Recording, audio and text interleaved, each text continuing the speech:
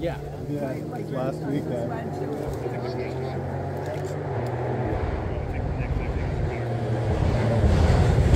uh,